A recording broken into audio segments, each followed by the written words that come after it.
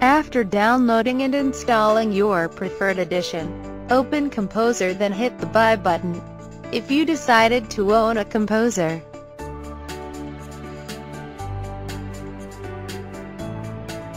Now a quick summary on licensing. Floating licenses are perfect solution for corporates. Here, licenses are restricted only on numbers of machines running at the same time. Machine locked are for common users. Here licenses are registered to the machine. You can always visit simlabsoft.com for more information.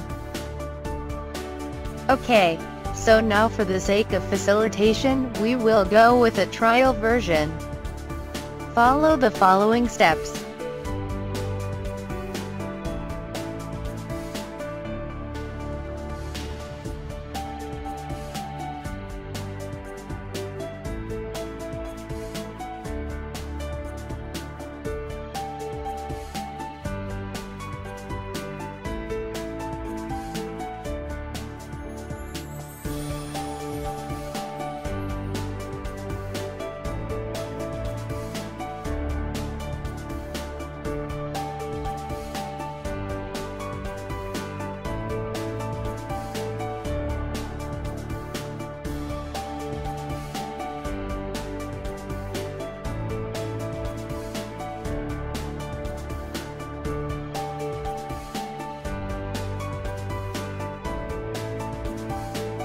Congratulations! You got your free trial all set.